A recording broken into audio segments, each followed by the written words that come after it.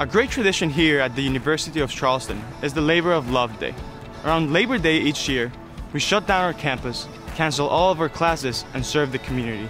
Last year we picked up trash, painted park benches, cleaned the fire trucks, and even walked dogs from the animal shelter. It was a great day to live the UC mission, to spend time serving others. With the current health concerns from COVID-19, this year's Labor of Love Day will look a lot different than last year's event, but the final result can be just as impactful.